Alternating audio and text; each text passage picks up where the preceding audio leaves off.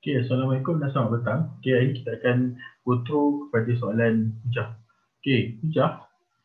Hujah kita ada seperti, seperti kita maklum, kita ada tiga bentuk. Okay, so bentuk pertama, bentuk kedua dan bentuk ketiga. Okay, untuk bentuk pertama, kita ada penjelasan dia pada premis pertama, kita akan jumpa perkataan semua.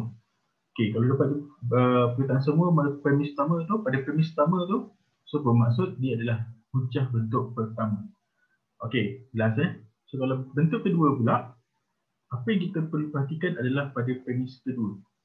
Okey, premis kedua mesti ada perkataan ataupun hujah ataupun kenyataan yang berkaitan dengan antijadian.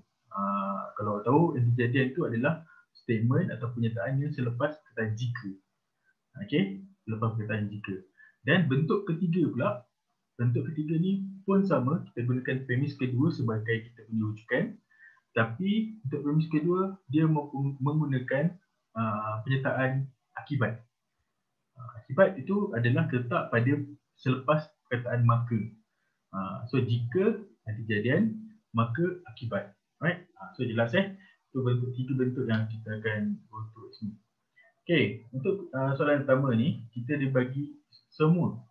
Okay, semua pentagon sekata mempunyai lima sisi yang sama panjang. So kita ada statement ataupun keyword dia semua pada premis pertama. So bila premis pertama adalah uh, semua, makanya dia jatuh pada bentuk pertama. Right. So kita tengok uh, dia punya ayat ni, semua pentagon sekata mempunyai lima sisi yang sama panjang. Okay. Dia suruh bina ayat untuk premis kedua. Tapi kita kena rujuk kepada kesimpulan. Okay, kesimpulan di sini dia bagi adalah PQRST mempunyai sisi yang sama panjang. So nampak tak uh, dia punya ayat mempunyai mempunyai sisi yang sama panjang sama dengan mempunyai lima sisi yang sama panjang pada premis pertama. So of course dia kita boleh confirmkan mempunyai lima sisi pada sisi pertama ni adalah B. So ini adalah B lah. Uh, so A dia yang mana? A dia adalah yang ni. Pentagon sekata. Uh, So bermaksud ayat untuk premis kedua adalah C, C dan A. So bermaksud C okay, atau, ataupun C dia adalah ini. So P, Q, R, S, T adalah pentagon sekata. Okay. Pentagon sekata. Right. So PQRS adalah pentagon sekata. Right. Uh, okay. Saya dapat clear untuk yang ini. Okay. Harap awak clear dengan uh, ni. So, saya cikgu tak berapa sangat. Cantik. Okay. B. B kita tengok kat sini. Berikan satu pernyataan. Jika uh, juga dalam satu pernyataan. Jika 2 tambah 3 sama dengan 5 maka 2 darab 3 sama dengan 15. Okey, maksudnya kat sini 2 tambah 3 sama dengan 5 adalah antijadian. Ha, kita tahu, selepas jika adalah antijadian. So, maka 2 kali 3 sama dengan 15. So, 2 darab 3 sama dengan 15 itu adalah dia punya akibat. Ha, Okey, so tentukan nilai kebenaran uh, uh, itu. Sama dah sama sama ada benda tu benar ataupun salah.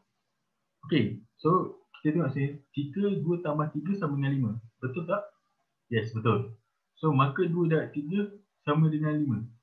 Salah kan? So, maka jawapan dia, akibat dia akan jadi palsu. Okay, pernyataan itu adalah pernyataan pal palsu. Right. Pal palsu. Okay. So, kita tengok sini nombor 2 pula tulis kon, uh, kontra positif pada pernyataan itu dan, dan tentukan nilai kebenaran.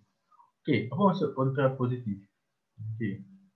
Kita ada somsang, kita ada uh, akib, uh, akas, mula kita ada akas, kita ada somsang, kita ada kontra positif. Okey, apa beza akas, uh, somsang dengan kontra positif ni? Okey, akas kita terbalikkan. Antijadian dengan uh, ni, antijadian dengan akibat. So maksud kalau sini akibat dia adalah 2 tambah 3 sama dengan 5. So 2 darab 3 sama dengan 15 tu adalah sebab dia kita terbalikkan. So kita akan dapat tulisan untuk akas. Akas akan jadi uh, jika uh, 2 darab 3 sama dengan 15. So maka uh, 2 tambah 3 sama dengan 5. Itu akan jadi akas. Okey, macam mana pula dengan statement songsang? Uh, Okey, macam mana dengan statement songsang pula?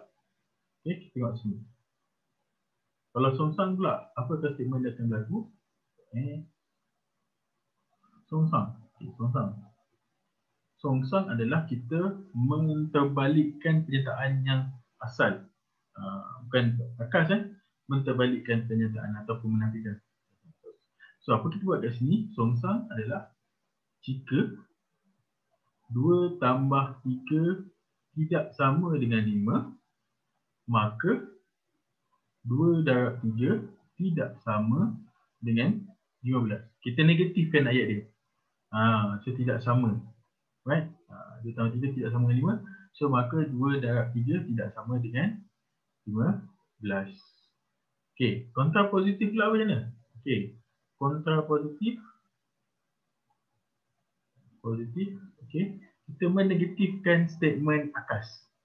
Okay. Kita men, uh, men, uh, menegatifkan uh, negatifkan statement atas. So statement atas kita yang tadi kita terbalikkan iaitu 2x tambah 3 sama jika x tambah 2x tambah jika 2 2 dan 3 sama dengan 15 maka 2 tambah 3 sama dengan 5 kan. So kita jadikan kontrapositif dia jika 2 darab 3 tidak sama dengan 15 maka 2 tambah 3 tidak sama dengan 5. Okay. So, kita tak tahu uh, benda tu, uh, apa, pernyataan itu benar ataupun tidak. Okay, kita bergantung kepada salah satu ni lah. Uh, jika ni adalah uh, tidak sama dengan 15, okay, maka 2 tambah 3 sama dengan 5. Tidak sama dengan 5. So, maksudnya 2 tambah 3 sepatutnya 5. Tapi tidak, tidak sama dengan 5. So, jawapan dia adalah palsu. Alright.